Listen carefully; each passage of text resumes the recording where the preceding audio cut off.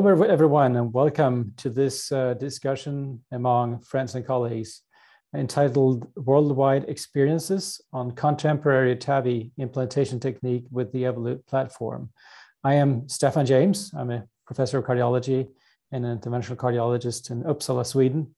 And I'm joined uh, here today um, by my colleague Kendra Grubb, who's an associate professor of surgery uh, at Emory um, University, Atlanta, Georgia and also Yohei Ohno, who is a co-director of interventional cardiology uh, in the cath lab of Tokai University in Japan.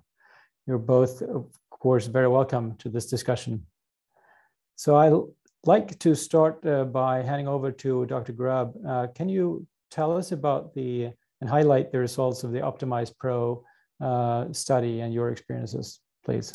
Stefan, thank you so much. Um, the Optimize Pro study is, is really a, an exciting um, study right now because we're really trying to look at best practices using the Evolut valve.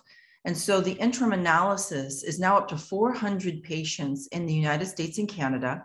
All of these patients have severe aortic stenosis. It was kind of an all comers trial. But one of the key exclusions was no bicuspids as well as no inbound pacemakers.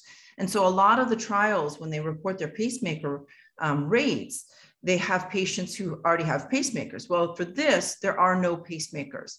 And the trial really focuses on three elements pre, intra, and post op pathways for these patients. So we're selecting certain group of patients, they're having their procedure with the cusp overlap technique or RAO projection, with the goal of landing the valve really one to three millimeters deep, which is much higher than we had traditionally landed the valve.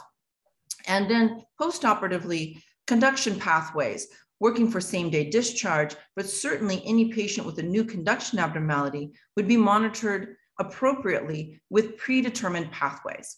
And this analysis of the first 400 patients, now out to 30 days, is really exciting data um, we again see no patients with moderate or severe aortic regurgitation, which is really exciting.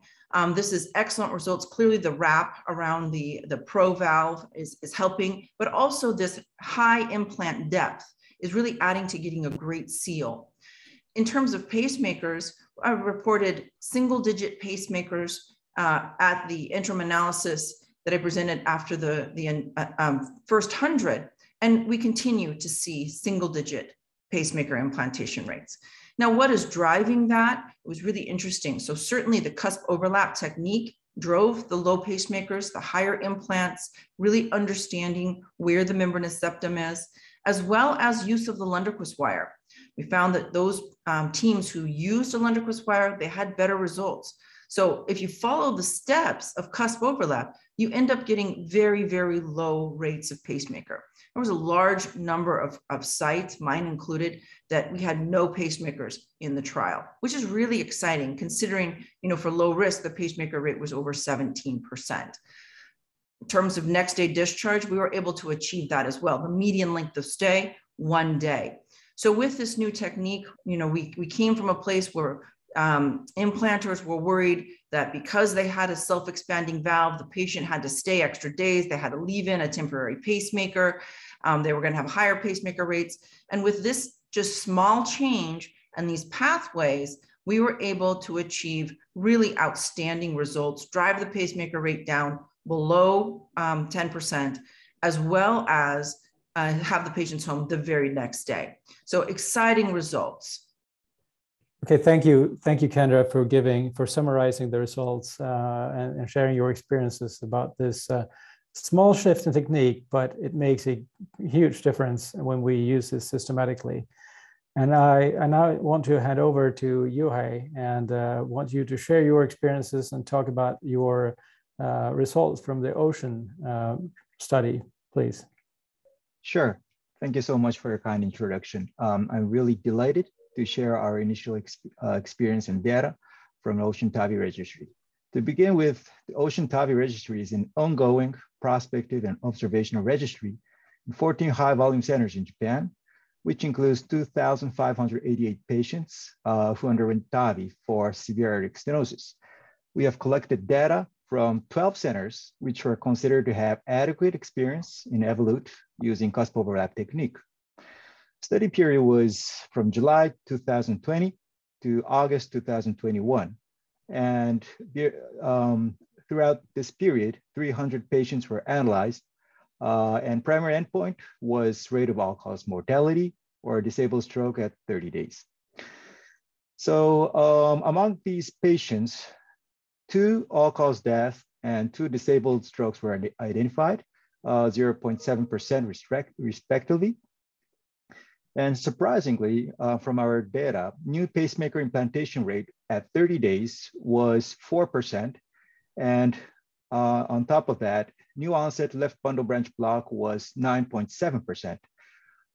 Our previous new pacemaker implantation rate uh, was 16.9% in our cohort with supra-annular self-expandable platform. Therefore, obviously significant reduction was observed in our uh, registry. Not only the cusp overlap technique, but also with operators experience and newer generation valves such as Evolut Pro and Pro Plus uh, made this result possible. All patients received one valve uh, implanted, although one patient developed valve migration, uh, which did not require second valve since there was still annular, annular contact.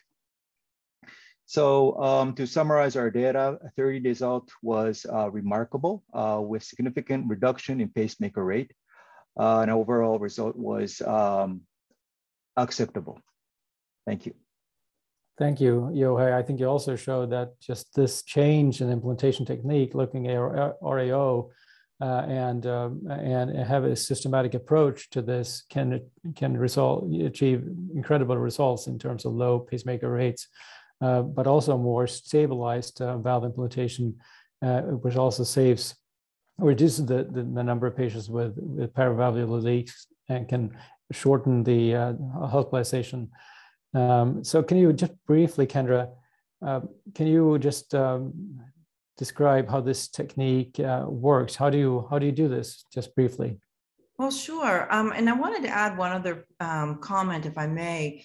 Um, when I was talking about Optimize Pro, and I mentioned that was the first segment, the first 400, I failed to mention that we're actually expanding into Europe and the Middle East, as well as Australia and New Zealand. So there'll be 200 additional patients implanted using this technique in Europe and the Middle East and 50 from Australia and New Zealand. So the trial will end up being 650 patients. Um, and I think that it will continue to show excellent results. So the technique itself really relies on understanding where you are in space.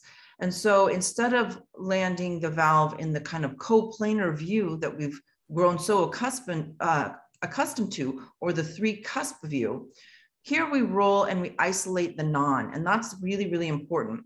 So rolling RAO will isolate the non and overlap the right and the left, left cusp. So the pigtail will be at the base of the non. That will kind of splay out the membranous septum.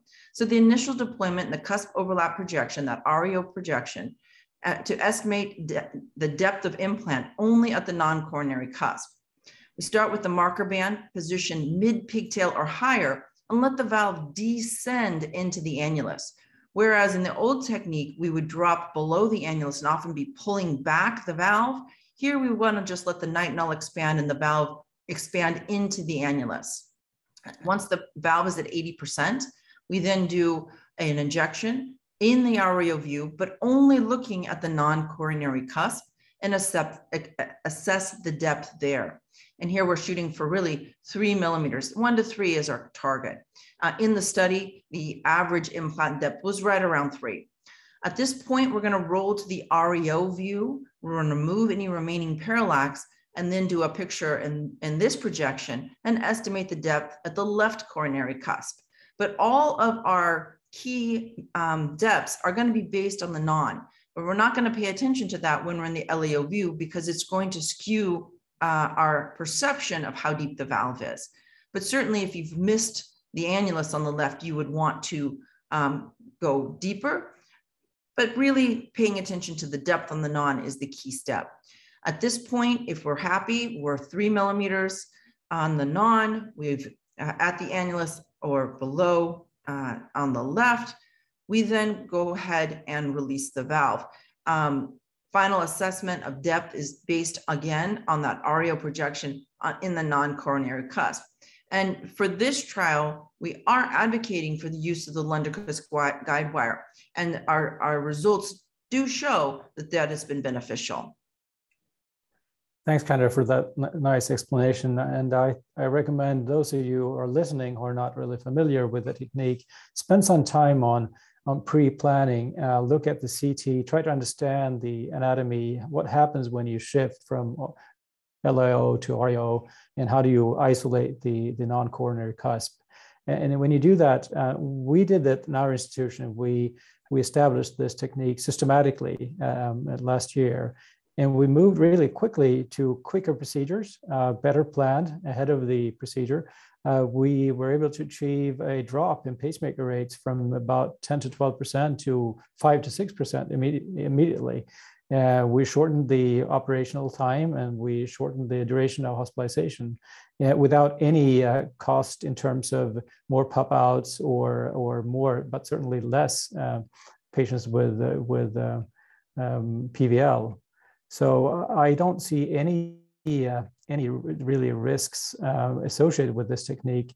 Uh, but it takes if you're very used to a the tri- triplanar view, you need to spend some time on understanding the the background and the anatomy. Um, so those are my experiences with this, uh, completely um, positive and supportive. Uh, what are your experiences, Yohei, from your institution? Uh, thank you so much. Really, I agree with you, you too. And overall, this technique is promising and um, I really like it. So I believe that the beauty of this technique is the consistency and the reproducibility of the results. So even with, let's say, early experience implanters, this technique will provide excellent result uh, with um, less procedure time. And uh, as you emphasized, I guess to learn the anatomy um, by both CT scan and the fluoro images will um, facilitate this technique even more. So um, I basically try to um, implant the uh, valve at the NCC side very meticulously, and then go to the LAO side and see the uh, LCC side, and then the balance of the coronary flow. So um, I guess this approach uh, offers tailor-made approach, patient by patient. If the patient has long membranous septum, we can even go a slight little bit deeper in order to facilitate coronary access in the future. So this really makes a big difference. Hmm. Yeah, thanks a lot. Kendra, I guess your experiences are, are similar? Very similar to what he's describing. I'm I'd just add you know, we started using the cusp overlap technique for the Evolut valves in 2019, so long before the trial actually was underway, and really saw really great results. So we, um, like many people, had double-digit pacemaker rates with the um, Evolut platform, and just switching to the cusp overlap technique. Um, our initial experience was that our pacemaker rate was about three and a half percent and, and that was very exciting. Now, we had never had a special pathway for our self expanding valves. They were a nurse led sedation, um, all lines out if we could to the floor and home the next day.